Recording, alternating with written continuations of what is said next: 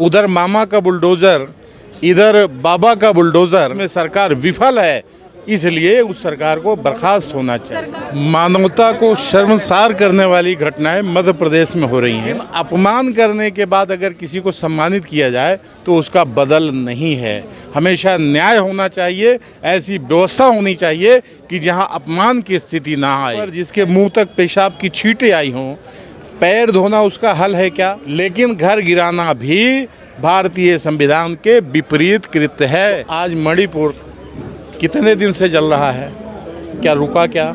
आप ये कहिए ना कि निकम में लोग हैं, ये नहीं होने चाहिए। ऐसा बोलिए ना, क्यों नहीं बोल रहे हैं आप? ऐसे नालायक लोगों को सत्ता में नहीं होना चाहिए। तो मैं आपके माध्यम से उन्हीं दलालों की तो बात कर रहा हूँ, जो डिबेट चलाते हैं।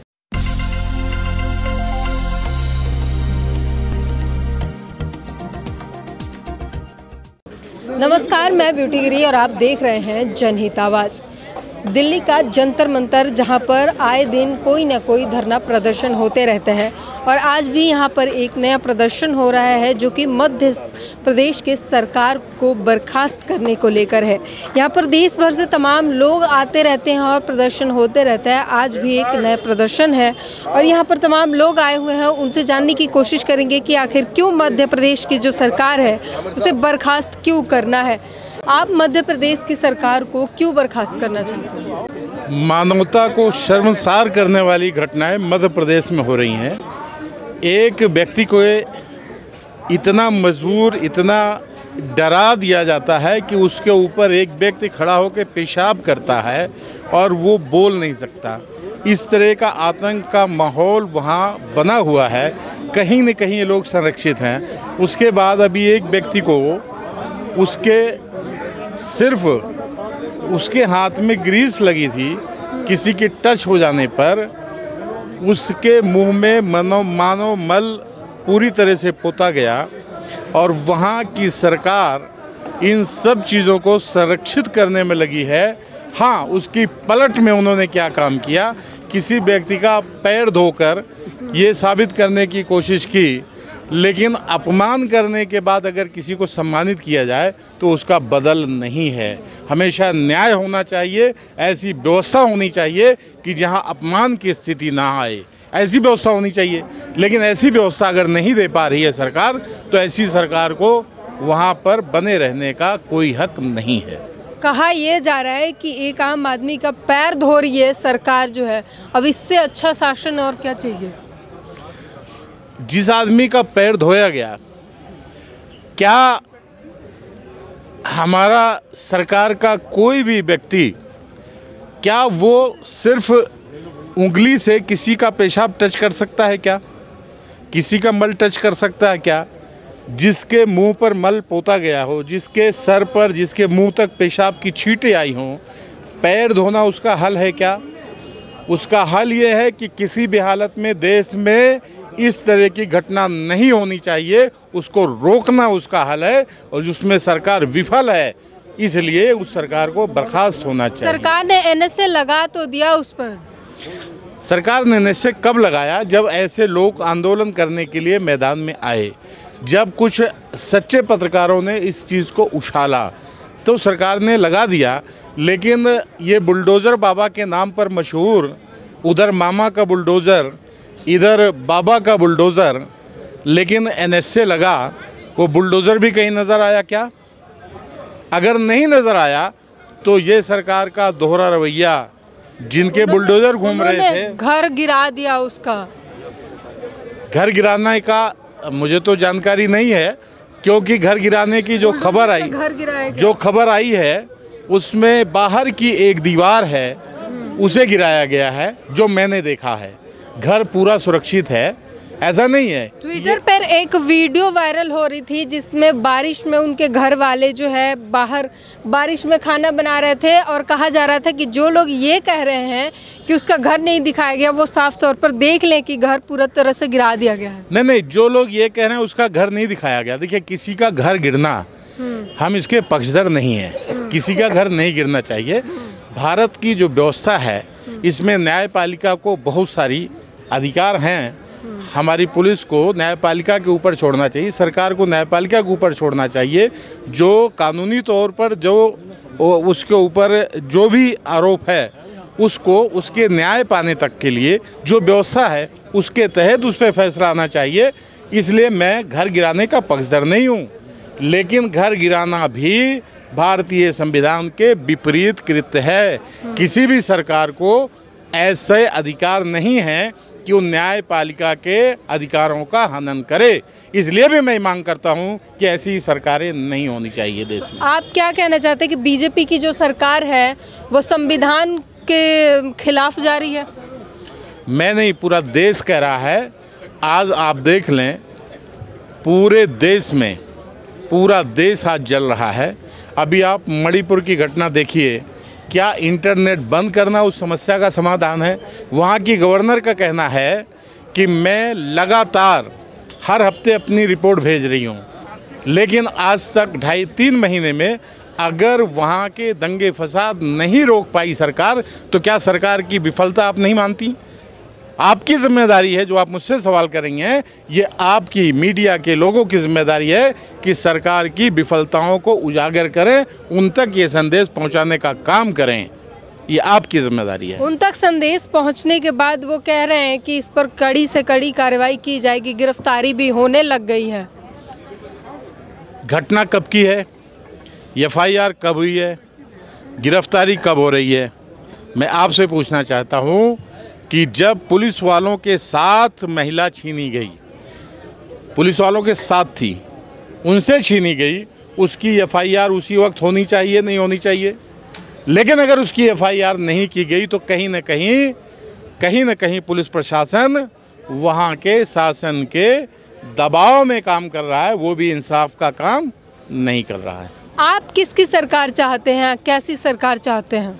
मैं ऐसी सरकार चाहता हूँ जो भारत के संविधान को ईमानदारी से लागू करे भारत की संविधान की शपथ लेने वाले लोग संविधान की धज्जी न उड़ाएँ संविधान के अनुसार काम करें। भारत का संविधान जिस तरह से हम सबको आज़ादी देता है जिस तरह से इस देश की व्यवस्था का उसमें ज़िक्र है ऐसी व्यवस्था कायम होनी चाहिए ऐसे लोगों की सरकार हम चाहें। कौन है कौन है आपकी नज़र में? ये जनता है जनता आएगी। जब जब जुर्म बढ़ा है जनता ने फैसला लिया है और जनता ने सरकारों को उखाड़ फेंका है इनको भी उखाड़ फेंकेगी। इनको उखाड़ फेंकने के बाद जो विपक्षी पार्टी जो है वो इंडिया का गठबंधन कर इंडिया का नाम रखा हुआ है उनमें भी अभी चेहरे क्लियर नहीं है कौन आएगा। लगा ये कहा जाता है कि प्रधानमंत्री की लोकप्रियता इतनी है कि उनका सामना करना आसान नहीं है। तो कौन आएगा देखिए आप मुझसे जो बार बार सवाल कर रही हैं असल में आपका सवाल जो है, बड़ा अजीब है। पूरा देश जल रहा है। ये उनकी लोकप्रियता की देन है। आज मैं उस पर बात कर रहा हूँ कि पूरा देश जल रहा है। आप लोकप्रिय प्रधानमंत्री हैं, अच्छी बात है। मैं भी आपको धन्यवाद कहूँगा। लेकिन अपनी लोकप्रियता को यहाँ ज़ाहिर करके जहाँ जहाँ लोग धार्मिक आधार पर मारे जा रहे हैं जहाँ जहाँ लोग जाति के आधार पर मारे जा रहे हैं जहाँ जहाँ लोगों का जाति के आधार पर अपमान किया जा रहा है उन सबको रोक दो। हम भी लोग हम भी आपको जो है बहुत लोकप्रिय प्रधानमंत्री मान लेंगे। अरे नौ साल बेमिसाल के नारे लेकर घूमे रहे लोग कह रहे हैं कि नौ साल बेमिसाल रहा। वो भी बता रहे हैं काम गिना रहे हैं। नौ साल बेमिसाल की अगर आप बात करते हैं तो चलिए मैं आपको कहाँ से शुरू करूँ? क्योंकि झूठ तो इतनी है, लेकिन चलिए मैं आपको कुछ याद दिलाता हूँ। सबसे पहले उन्होंने कहा था कि हर अकाउंट में पंद्रह लाख रुपए आएगा। बाद में पता चला वो जुमला निकला। बेटी बचाओ, बेटी पढ़ाओ का नारा खूब दिया जा रहा है। आप देखो बेटियों के साथ क्या हो रहा है। आप बेटी हैं बेहतर समझ सकती हैं। कहा था बेटियाँ हमारे राज्य में सबसे ज़्यादा सुरक्षित हैं। तो आप बताइए ना कितना सुरक्षित हैं। आप उनको बताइए आप आप उन तक मेरी बात पहुंचाइए ना कि बेटियाँ कहाँ सुरक्षित अगर सुरक्षित हैं तो ये पुलिस के सामने निर्बस्त करके सड़क पर जुलूस निकाला जाए। उसके बाद उनके साथ हज़ारों लोग जिस तरह से घिनौनी हरकत कर रहे हैं उनमें से दो लोगों को, चार लोगों को अरेस्ट कर लेना, क्या उससे इनकी ये बात साबित होती है क्या? हज़ारों लोग थे, उनकी सबकी गिरफ्तारी होनी चाहिए। दो लोगों, चार लोगों को गिरफ़्तार करके, क्या उनके मनोबल को तोड़ा जा सकता है क्या? ऐसा नहीं है। इसलिए मेरा कहना है कि उनकी तमाम झूठें, आज तक, अभी आप देखें, डिजिटल इंडिया, आप देख लें फिर बहुत सारे उन्होंने कहा था हम वो कुछ कॉलोनियाँ कुछ इस तरह की चीज़ें डेवलप करेंगे। उसके लिए बहुत बड़ा ख्वाब दिखाया था उन्होंने। आप बताइए कहाँ पर ऐसा कुछ हुआ है? अगर कुछ हुआ है तो बता दिए। नोटबंदी के बाद कहा था कि दहशत गर्दी ख़त्म हो जाएगी। कि विकास कर दिया। हाँ विकास कर दिया। लेकिन आप देखें अगर दहशत गर्दी ख़त्म हो गई तो आज मणिपुर कितने दिन से जल रहा है? क्या रुका क्या? किस दहशत गर्दी की बात करते हैं? किस दहशत गर्दी को रोकने की बात करते हैं? आज आप बताएँ, एक आदमी को इतना भयभीत किया जाता है कि उसके मुँह पर एक आदमी पेशाब करता है, वो बेचारा उठ के बच भी नहीं सकता, उठ के भाग भी नहीं सकता। ऐसा दहशत का माहौल अगर किया गया है तो आप बताइए दहशत गर्दी करने वाले लोगों की मदद सरकार करी? दहशत गर्दी कहाँ रुकी? रुकी है क्या? आपको लगता है रुकी है? अच्छा आप मान रहे हैं कि विकास हुआ है? हाँ विकास हुआ है। दहशत गर्दों का विकास हुआ है। हाँ। विकास हुआ है। जो इस तरह दंगाई हैं उनका विकास हुआ है। बाकी तो मुझे नहीं लगता कोई विकास हुआ है। अगर कोई विकास है तो आप दंगाई कौन है? दंगाई कौन है? दंगाई अब आपको मैंने तो मेरे ख्याल से हर बार बताया। आपके सामने एग्ज़ाम्पल मैंने मणिपुर दिया। और आपके सामने हैं कि हमारे सामने मणिपुर हुआ है लेकिन कांग्रेस के टाइम में ममता बनर्जी में बंगाल में हो ही रहा है कांग्रेस के टाइम में भी कई सारे हुए। तब तो आ, पहली बार थोड़ी हो रहा है। टीवी पर आके साफ़ तौर पर कहते हैं। नहीं तो इसका मतलब ये हुआ कि जो पहले हुआ है उसे बढ़ाने का काम इनका है उसे कंट्रोल करने का काम नहीं है। जो पहले अगर ठीक हुआ था ये भी ठीक कर रहे हैं। तो फिर तो कुछ कहने की ज़रूरत ही नहीं है। फिर क्यों विकास की बात कर रहे हैं? और आ, क्यों डिजिटल इंडिया की बात कर रहे हैं? अगर पहले की सरकारों ने जो काम किया वही काम इनको करना है और उसी तरीके का काम करना है तो फिर बेकार के नारे किस लिए दिए जा रहे हैं?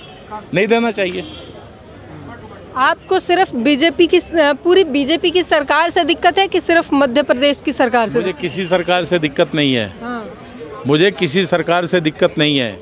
मुझे उन सभी लोगों से दिक्कत है जो संविधान की शपथ लेकर संविधान की धज्जियाँ उड़ा रहे हैं, चाहे वो किसी भी पार्टी के लोग हों। मुझे सबसे दिक्कत है। इसलिए कि संविधान की शपथ लेकर सदन में जाते हैं और संविधान की धज्जी उड़ाने का काम करते हैं। वो चाहे बीजेपी के लोग हों, चाहे कांग्रेस के लोग हैं, या आपके बीच के जो चाटुकार लोग हैं, जो दिन रात गुणगान करते हैं, मैं उनका भी विरोध करूँगा। जनता ही तो भेजती है ना। आप कहते कि जनता इनको उठा के फेंकेगी। जनता ने ही भेजा है उनको दूसरी बार। मैं आपसे पूछना चाहता हूँ आपने तीसरी बार जीतने के दावे भी कर रहे हैं। मैं आपसे पूछना चाहता हूँ जितने सवाल आपने मुझसे किया हाँ। आप एक क्लिप दिखाइए कि आपने सरकार के किसी नुमाइंदे से आपने कोई सवाल किया हो तो मुझे लगेगा कि आप ईमानदार मिलते ही नहीं है अगर वो नहीं मिलते तो आपके लिए काफ़ी है। आप मुझसे क्यों सवाल इस तरह का किए जा रही हैं? आप ये कहिए ना कि निकम में लोग हैं ये नहीं होने चाहिए। ऐसा बोलिए ना क्यों नहीं बोल रहे हैं आप? प्रदर्शन करने आप आए हैं आपसे हम हमारा गुस्सा हमारा गुस्सा जो है हमने आपको बता दिया। हाँ। आप एक सवाल को लगातार रिपीट कर रही हैं तो मैं आपसे जानना चाह रहा हूँ कि आपकी ज़िम्मेदारी है कि हमारी बीच हमारे बीच की जो बात है हम्म। सरकार तक आप पहुंचाएँ। अगर आप सरकार तक पहुँचाने में वही अच्छा कर रहे हैं आप ही की आवाज़ पहुँचा रहे हैं। आप उनसे कभी बात नहीं करते तो फिर आपको हमारे जब हमें मिलते हैं हम उनसे सवाल करते हैं। अभी आप, आप हमें मिले आपसे सवाल करना काम है नहीं मैंने आपको जितनी बात बताई इसमें आपके तमाम सवालों का जवाब है। हाँ। आप सरकार से बात करिए कि वहाँ के प्रदर्शन में इस तरह का सवाल लोगों ने किया कि भारतीय संविधान की शपथ लेने तो वाले लोग साधारण सवाल किया कि जनता ही भेजती है उनको। भारतीय संविधान की शपथ लेने वाले लोग हाँ। ये भूल जाते हैं भारतीय संविधान की दर्जी उड़ाने का काम करते हैं। ऐसे नालायक लोगों को सत्ता में नहीं होना चाहिए। तो वही तो सवाल है कि सत्ता में भेजता कौन है? जनता ही भेजती है ना? जनता कैसे भेजती है कैसे पहुँच जाते हैं हाँ। एक बड़ा लंबा बहस का मौजू है यहाँ हाँ। यहाँ सवाल नहीं है हाँ। यहाँ आपका सवाल अभी जो है आज के हमारे प्रोटेस्ट है हाँ। इसके लिए अगर आपको बात करना है तो उसके लिए आप कभी और टाइम निकालिए और आइए मेरे साथ ठीक है ना फिर मैं आपको बात करूँगा हम लोग जनता को अवेयर करने का काम कर रहे हैं हाँ। इन्हें भी यहाँ तक पहुँचने में उसी जनता पर सवाल सुनिए सवाल सुन लीजिए। हम उसी जनता के लिए कह रहे हैं कि जो जिस जनता की आप बात करें वही जनता मुर्गा भात की पार्टी पर बहक जाती है दो बोतल दारू पर बहक जाती है भूल जाती है कि इस सरकार ने हमारे साथ क्या किया है। आप उसी जनता को अवेयर करने का काम कर रहे हैं। हम इसी के लिए सवाल पूछ रहे हैं कि वही जनता आप जिसको अवेयर कर रहे हैं वही बहक जाती है। जनता नहीं बहक जाती। आप अच्छी तरह समझ सकते हैं। देश की मीडिया में रोज सुबह से शाम तक जो डिबेट हो रही है आप मुझे बताएँ आपने अब तक बेरोजगारी पर कोई डिबेट किया? हम लगातार सवाल पूछते हैं। नहीं डिबेट किया। महँगाई पर कोई डिबेट किया? मजलूमों के जुर्म पर कोई डिबेट किया? लेकिन जब भी डिबेट होती है कभी मंदिर मस्जिद का मसला होता है कभी हिंदू मुस्लिम का मसला होता है आप लोग इस पर डिबेट चलाते हैं। आप लोग गुमराह करते हैं। आप भी जो है। लोग आप मेरी बात सुनिए मेरी बात सुनिए। आप भी उन लोगों को जाके साफ़ तौर पर नहीं बोलते सामने से उन लोगों को नहीं बोलते।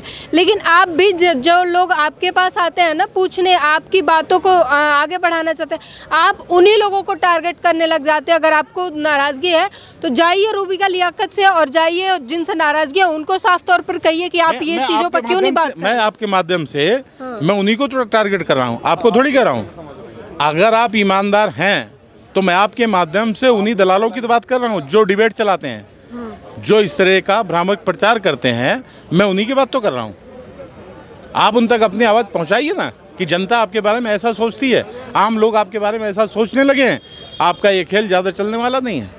तो साफ़ तौर पर आपने सुना कि कैसे इनको सरकार से नाराज़गी है।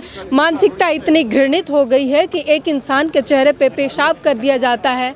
और उसके बाद जो है सरकार कुछ नहीं करती है पैर धो देती है और उसके बाद मामला रफा दफ़ा कर दिया जाता है। इस तरीके का कानून हो गया है कि वहाँ से जो इंसान है, वो उसके चेहरे पे पेशाब किया जा रहा है, लेकिन वो उठ के नहीं जा सकता। एक तरह से जो है ऊपरी जाति के जो लोग हैं, जो दबंग जाति के लोग हैं, वो लोग जो निचली जाति को है, वो दबा कर रखते हैं और सरकार भी इस चीज़ को बढ़ावा देती है। सत्ता में जो लोग हैं, वो उनके लोग हैं, इसलिए उनकी सुनवाई भी बहुत कम होती है। बाकी पूरी बातचीत पर अपनी प्रतिक्रिया देना ना भूलिए। कैमरामैन तोहित के साथ ब्यूटी गिरी